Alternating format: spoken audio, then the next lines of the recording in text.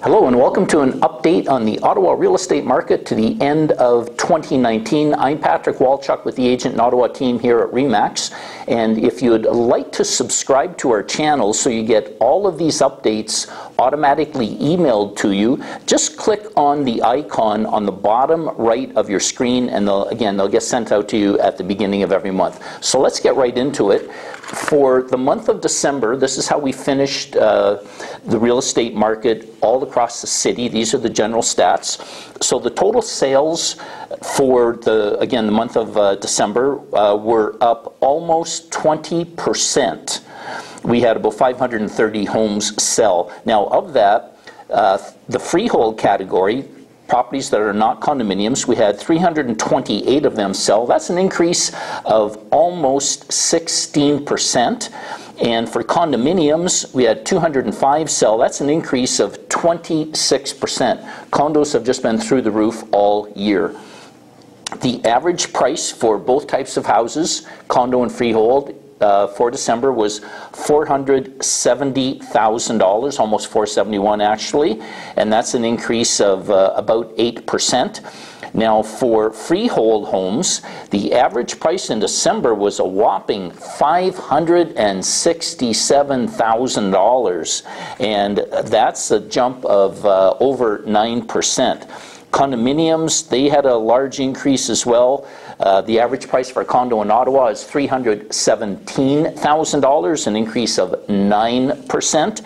And in terms of how long it was taking for these homes to sell, freehold homes were selling uh, sorry, in 30 days on average compared to 50 in December of uh, the previous year, of 2018, and condominiums were selling in 33 days, which uh, is less than half the time that they were selling in December of last year.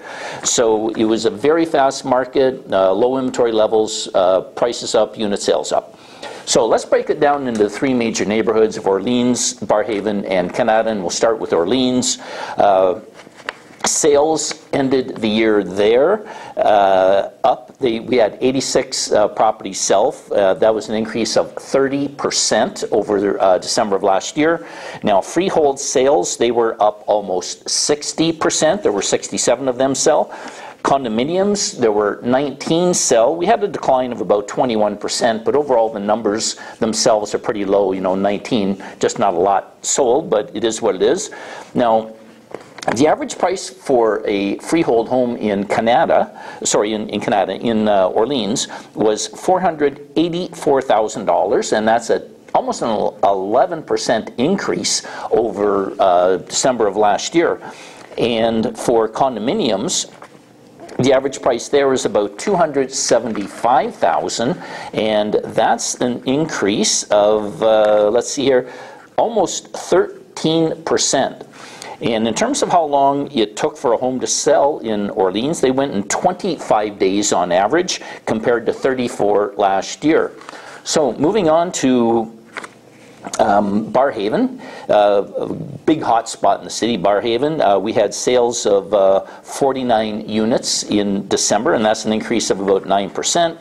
Freehold sales were 31. Uh, we had a, that's a slight decline. There had been 35 the year before, so it was down four. And for condos, there were 18 sales, which is a little bit surprising for that time of year that there were so many because there were only 10 the previous year.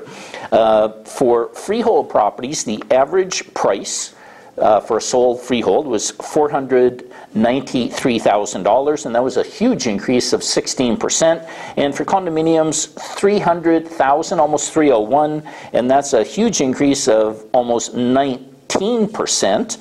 Uh, in terms of how long it took to sell, they were selling on average in 13 days. Now remember for Orleans, I told you that they were selling really quickly in 25. Can you imagine in Barrhaven, on average, homes are selling in 13 days? So that's it for um, that area, and we'll move along to Kanata. And basically, Kanata remains king of the three major areas in the city in terms of, uh, of overall prices. And that is due for a couple of significant reasons. One is that uh, the technology sector is doing real well, employment's very high, and then again you have all of the people continuing to move into the new DND building. on Moodie Drive and uh, Carling Avenue, basically. So, Kanata. 82 sales compared to 44 last year. That's up 86%. Freehold sales, 66. That's up 74%. Condo sales, 16. That's up 167%. The average price for uh, a freehold property, $535,000. So I want to stress that if you're looking to buy a house in Kanata, uh, freehold property, average price 535. Uh, condominiums 305 they're up 32% uh, in terms of prices and in terms of how long it was taking to sell they were taking a little bit longer than Barrhaven, but they were selling in 24 days compared to 42 the year before. So that, that's uh, really quite fast. So that's a wrap up. And again, click on the icon on the bottom right of the screen and you, you can uh, subscribe to our channel. Thanks for watching.